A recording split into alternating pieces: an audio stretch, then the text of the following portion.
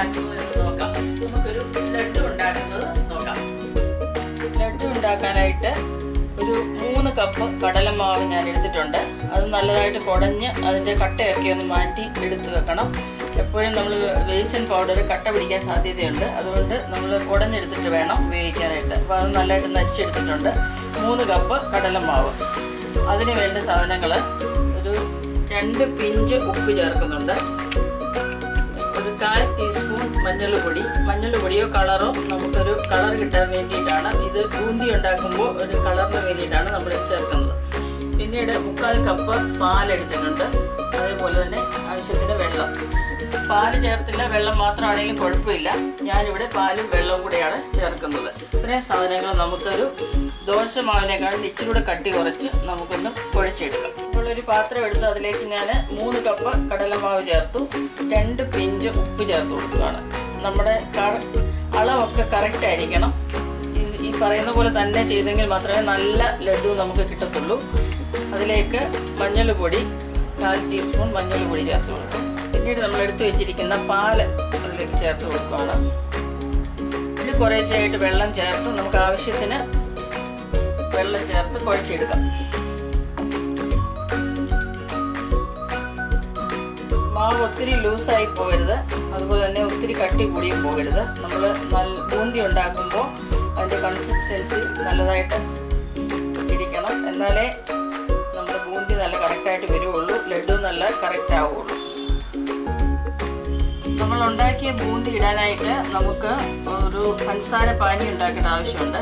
അതിന് വേണ്ടിയിട്ട് ഒന്നര കപ്പ് പഞ്ചസാര എടുത്തിട്ടുണ്ട്. അതിലേക്ക് അഞ്ച് ഏലക്ക ഉണ്ട് ഒന്നര ടേബിൾ സ്പൂൺ നെയ്യ് എടുത്തിട്ടുണ്ട്.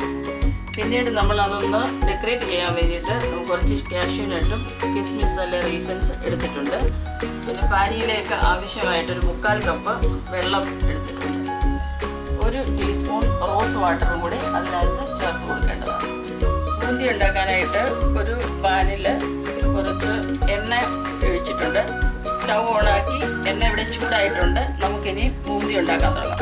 അതിന് വേണ്ടിയിട്ട് ഇതുപോലെയുള്ള കിഴുത്തുള്ള തവിയോ അത് എന്തെങ്കിലും ഇതുപോലെയുള്ള സാധനം എടുത്തിട്ട് ഇതിൽ വേണം നമ്മൾ ബൂന്തിക്കുള്ള മാവ് ഒഴിച്ചു കൊടുക്കാനായിട്ട്. അപ്പോൾ എണ്ണ ചൂടായിട്ടുണ്ട് നമുക്ക് ബൂന്തിക്കുള്ള മാവ് കുറേശ്ശെയായിട്ട് നമുക്ക് ഒഴിച്ചു കൊടുക്കാം.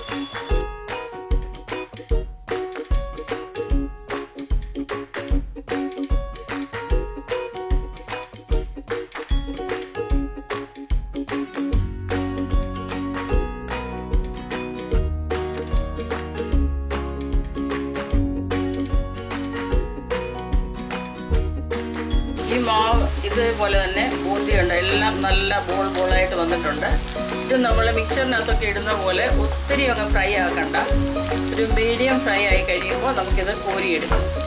അല്ലെങ്കിൽ പിന്നെ നമുക്ക് ലഡു ഉണ്ടാക്കുമ്പോൾ ശരിയായിട്ട് വരത്തില്ല. നമ്മുടെ ബൂന്തിയുടെ റെഡി ആയിട്ടുണ്ട്. ഇത് നമുക്ക് കോരിയെടുക്കാം.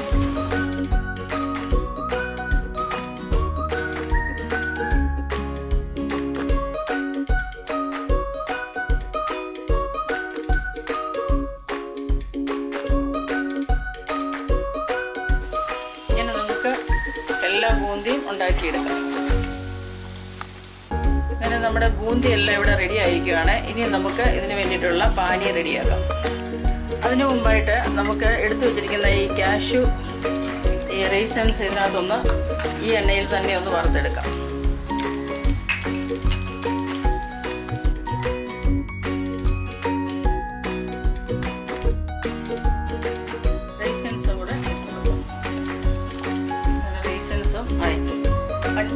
പാനി ഉണ്ടാക്കാനായിട്ട് നമ്മൾ എടുത്തു വെച്ചിരിക്കുന്ന ഒന്നര കപ്പ് പഞ്ചസാര ഒരു പാനിലൊക്കെ ഇട്ട് കൊടുക്കുകയാണ്.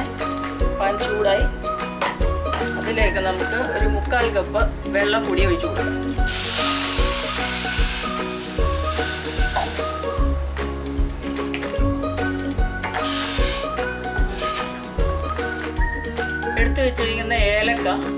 കുറച്ച് പഞ്ചസാരയും കൂടി ചേർത്ത് നമ്മൾ മിക്സിയുടെ ചെറിയ ജാറിലൊന്ന് പൊടിച്ചെടുത്തിട്ടുണ്ട്. അതും കൂടി നമുക്ക് ഈ പഞ്ചസാര പാനി അതോട് ചേർത്ത് കൊടുക്കാം.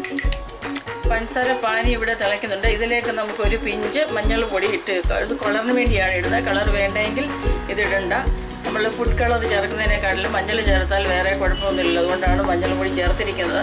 അതുകൊണ്ട് മഞ്ഞളിന്റെ ചുവയൊന്നും വരുമെന്ന് പേടിക്കണ്ട. ആ ടേസ്റ്റ് ഒന്നും വരത്തില്ല. അതിലേക്ക് നമ്മൾ എടുത്തു വെച്ചിരിക്കുന്ന നെയ്യ് കൂടി ചേർക്കുകയാണ്. ഒന്നര ടേബിൾ സ്പൂൺ നെയ്യ് ഇതിൽ ചേർത്ത് കൊടുക്കും. ഇതിലേക്ക് ഒരു ടീസ്പൂൺ റോസ് വാട്ടറും കൂടെ ചേർത്ത് കൊടുക്കും. ഇതിപ്പോൾ റെഡി ആയിരിക്കുകയാണ്. ഇതുപോലെ ഒരു നൂൽ പരുവത്തിനാകുന്ന സമയത്ത് ഇത് നമുക്ക് തീ ഓഫ് ചെയ്യാം. എടുത്തു വെച്ചിരിക്കുന്ന ബൂന്തി നമുക്ക് മിക്സിയുടെ ചെറിയ ജാറിലൊന്ന് പൊടിച്ചു കൊടുക്കാം. കുറച്ച് ബൂന്തി നമുക്ക് അങ്ങനെ തന്നെ വേണമെങ്കിലും ചേർക്കാം. ഞാനിവിടെ മൊത്തം ബൂന്തിയും പൊടിച്ചെടുക്കുകയാണ് ചെയ്യുന്നത്. ബൂന്തി മിക്സിയുടെ ചെറിയ ജാറിലേക്ക് ഞാൻ എടുത്തിരിക്കുകയാണ് അപ്പോൾ അതിന്റെ കൂടെ രണ്ട് ഗ്രാമ്പൂ ചേർത്ത് കൊടുത്താൽ ഒരു പ്രത്യേക ഫ്ലേവർ ആയിരിക്കും. നമുക്ക് ആവശ്യമുണ്ടെങ്കിൽ ചേർത്താൽ മതി. രണ്ട് ഗ്രാമ്പൂ ഞാൻ ഇതിലേക്ക് ചേർത്ത് കൊടുക്കാം. റെഡിയാക്കി വെച്ചിരിക്കുന്ന പഞ്ചസാര പാനി നമുക്ക് ഈ പൊടിച്ച് വെച്ചിരിക്കുന്ന ബൂന്തിയിലേക്ക് ഇട്ട് കൊടുക്കാം. ഒരുപാട് അങ്ങ് പൊടിഞ്ഞു പോകണ്ട. ഇതേ പരുവത്തിന് നമ്മൾ എല്ലാം ഒന്ന് പൊടിച്ചെടുക്കുക എന്നിട്ട് അതിലേക്ക് നമുക്ക് ഈ പഞ്ചസാര പാനി കഴിഞ്ഞായിട്ട് ഒഴിച്ചു കൊടുക്കാം.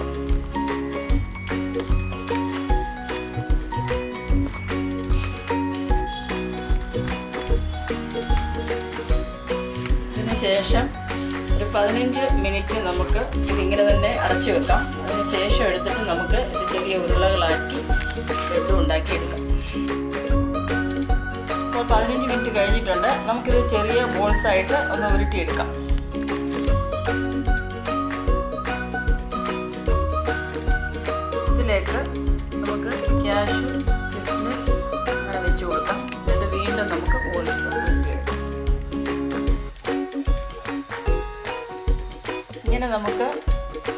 ഇതെല്ലാം ഇതേപോലെ ബോൾസാക്കി എടുക്കാം.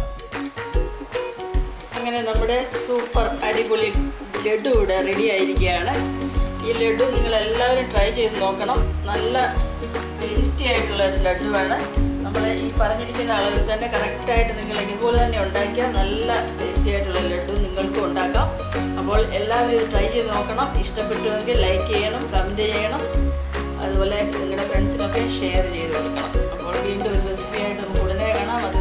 Bye.